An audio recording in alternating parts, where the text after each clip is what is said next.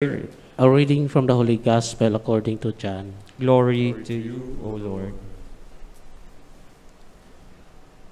Jesus went out to the Mount of Olives. At daybreak, he reappeared in the temple area. And when the people started coming to him, he sat down and began to teach them. The scribes and the Pharisees led a woman forward who had been caught in adultery. They made her stand there in front of everyone. Teacher, they said to him, this woman has been caught in the act of adultery. In the law, Moses orders such women to be stoned. What do you have to say about the case? They were posing this question to trap him so that they could have something to accuse him of. Jesus simply bent down and started tracing on the ground with his finger. When they persisted in their questioning, he straightened up and said to them, Let the man among you who has no sin be the first to cast a stone at her.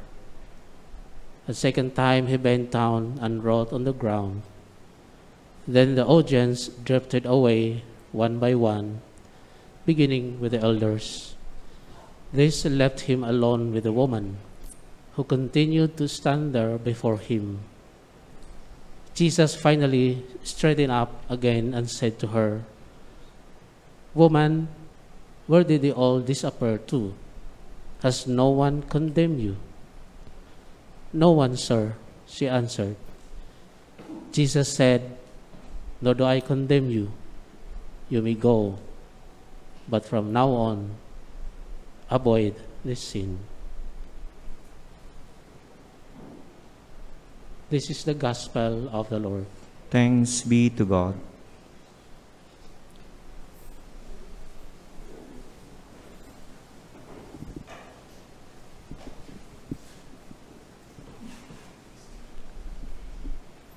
Come, Holy Spirit, come, Holy Spirit, bless this and worthy priest that I may share with the heart, not just with the lips. And that people listen with their hearts, not just with their ears. Come, Holy Spirit. Sisters and brothers, April. It's April. By the way, how do you pronounce the third month of the year? April or April? How do you pronounce the third month of the year? April or April? You pronounce the third month of the year March. Okay, good. Um, sisters and brothers, there are people who try to make us smile, make us show the sunshine. The least we can do many times is, okay. May mga iba, ay, corny, ano ba yan? Oh my God. You have people like that around you, don't, don't give up. Let the sun shine in. Keep doing that. Maybe that's your role. It's okay. And the others, the role of, of others is just to put off the fire. Your role, my role, and your role as Christians is to keep the fire burning. And that's not easy. Anyway, to keep the fire burning, we keep saying, okay, by God's grace, January was okay. By God's grace, February was uh, uh, no worry. And we say, by God's grace, April will be well. This is the meaning of keeping the hope and the joy alive. And I hope all of you will keep that mission. It's so easy just to be sad. It's so easy to shoot down people. It's so easy to say what is bad about people. But today, today, it's something beautiful. The story about the woman caught in adultery and how Jesus saw the good, not the bad. Uh, well, for all those who are celebrating their anniversary, wedding anniversaries, etc. Nag-anniversary yata yung kaibigan natin si Lamel si Alice Castello. Anyway, hey, let me tell you an anniversary story. Wow, 60th anniversary, wedding anniversary. So pagdating ng renewal of the vows, the the groom was asked to say something bago mag-renew. And he stood up and said, Well, my dear wife, uh, maybe you just want to say, I love you. Uh, ganun pa. Tapos, uh, maybe I didn't treat you just as good as I should have. No, may pakanta-kanta pa siya. And the crowd, of course, were getting happy. The crowd, were- yung mga, mga meron niya, mga cheerleaders niya. And don't know, oh, I love you. And to all the girls I loved before, naku, palakpakan na naman yung mga barkada niya. Well, they are nothing compared to you. Ang saya. And the wife was just quiet. I loved you, sabi niya. And the wife said, You know, I loved you twice as much more all these years. That's all the wife said. Natahimik na. Everybody was quiet because she was speaking a very simple truth. And she ended up this. I know about you, my dear husband, all these years. But then she said also, bumawi rin siya by way of a song. Years ago, I decided that I'd rather go on living with your lies than go, go on living without you. Tahimik na yung crowd.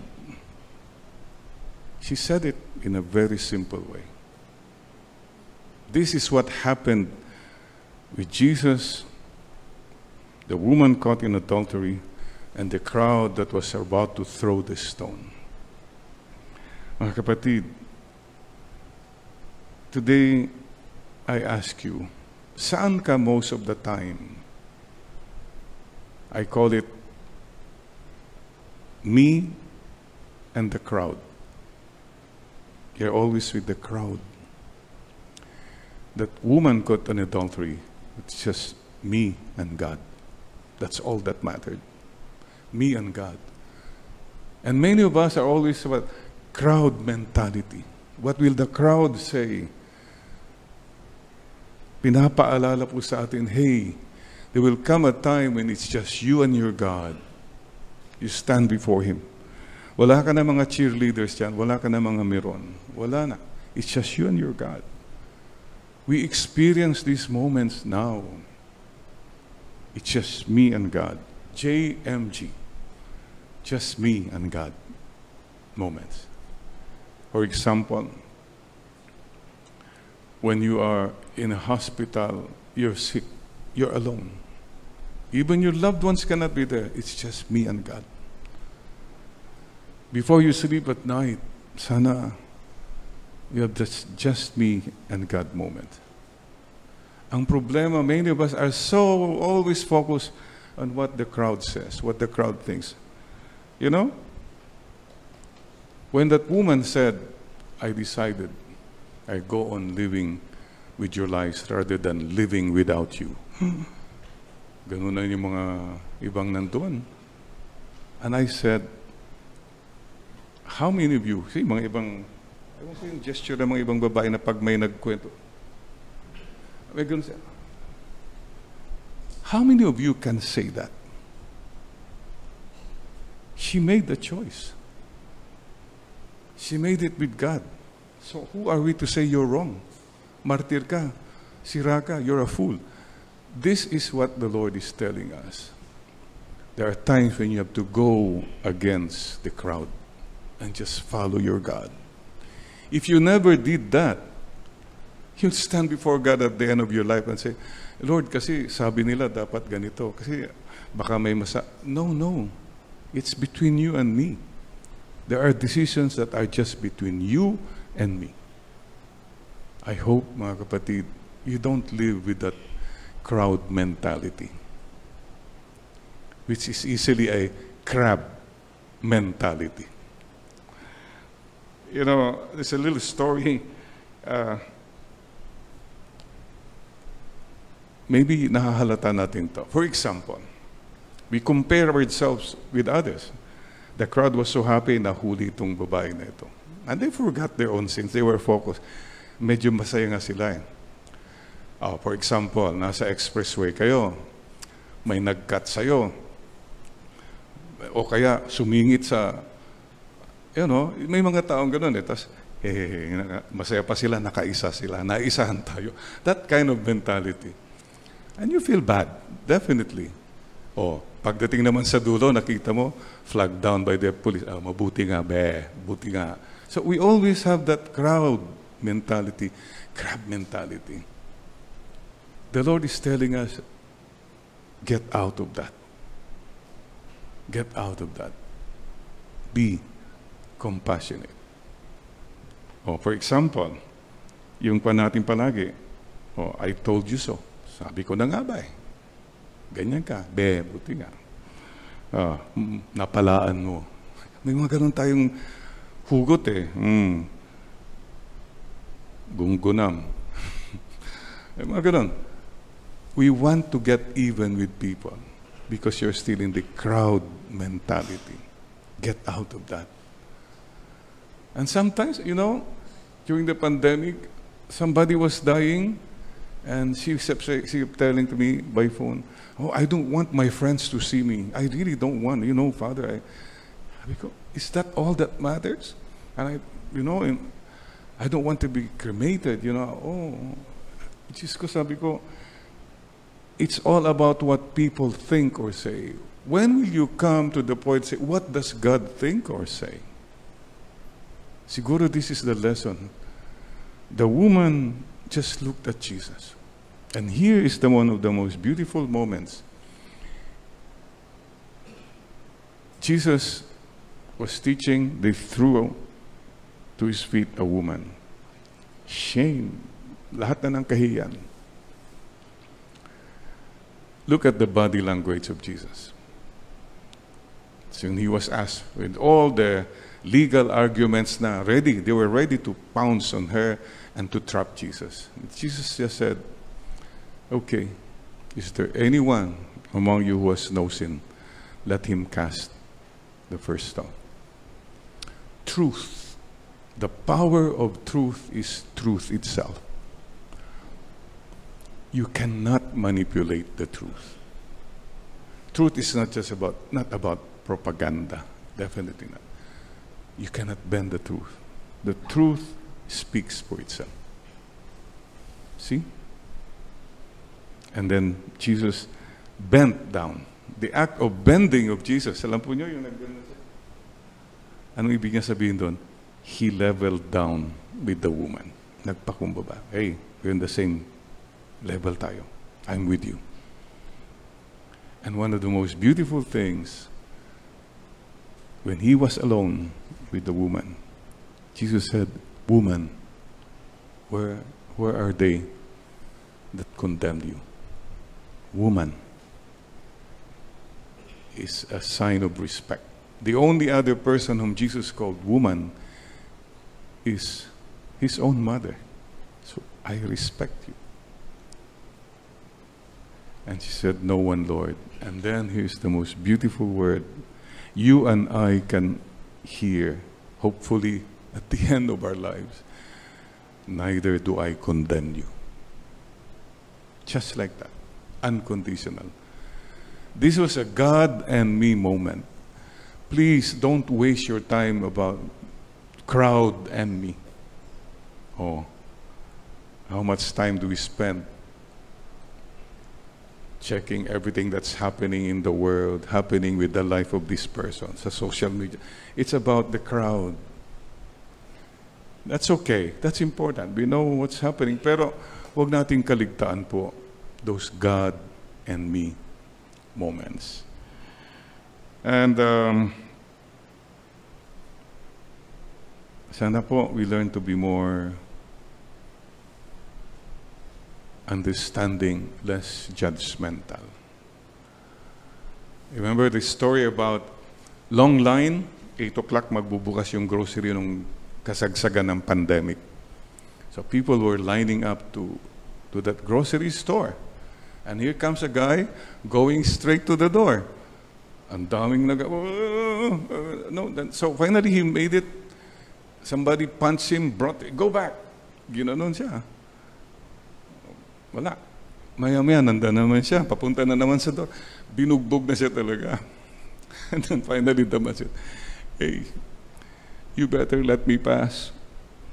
I'm a, the owner of that grocery. Bubuksan ko na sa grocery natin.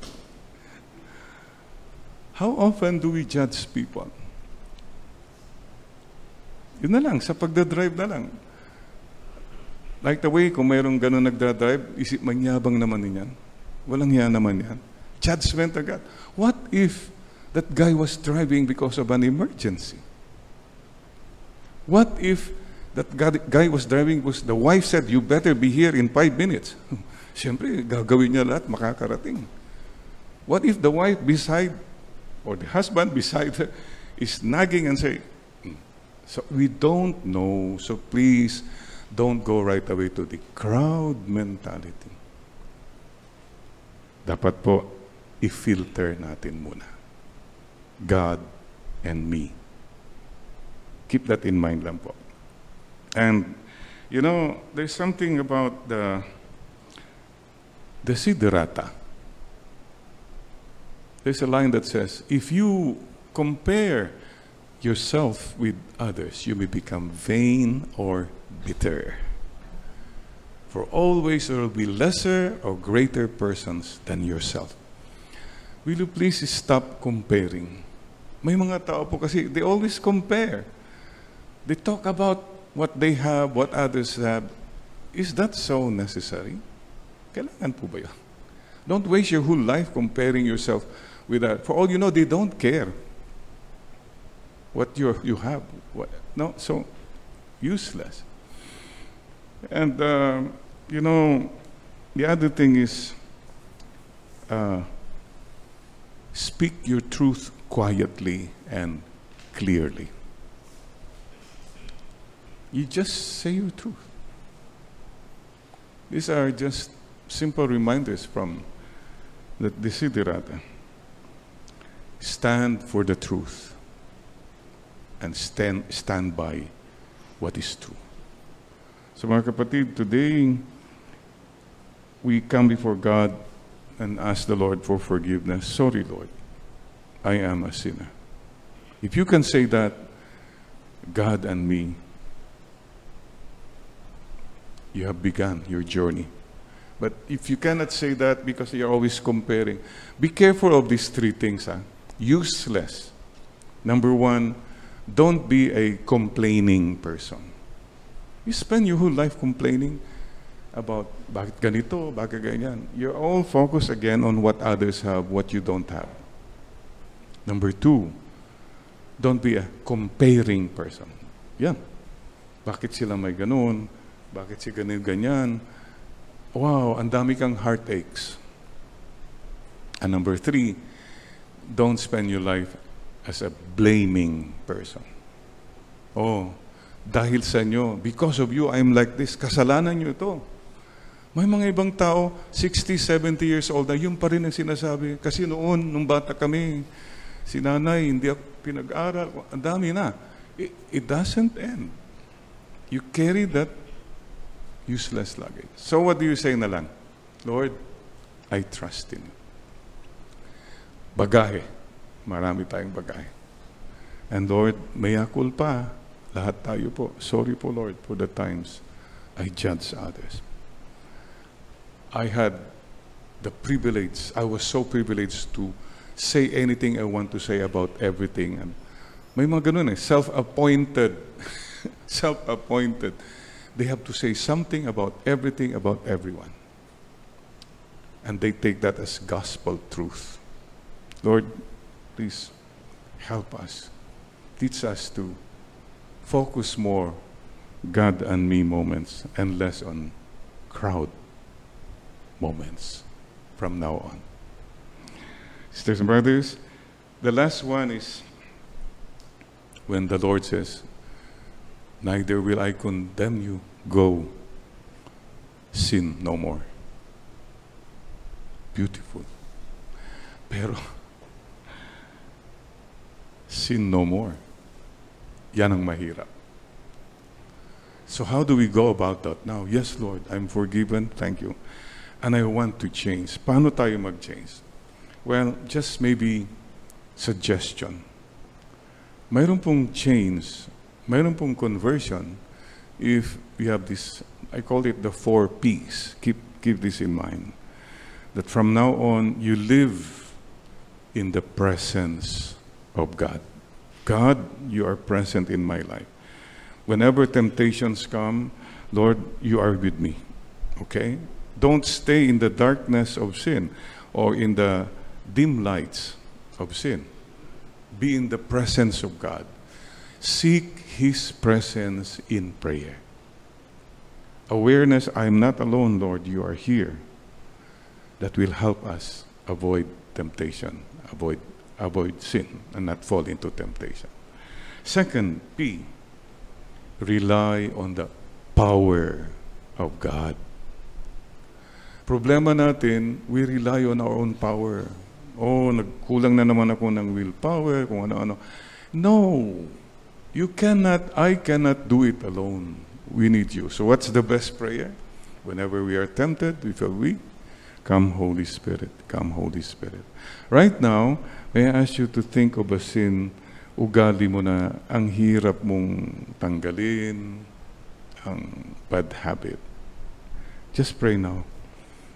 Lord, come Holy Spirit. Help me. Hindi ko po kaya. I am weak. So please, when those times come, please hold me, Lord. Stay with me by your power.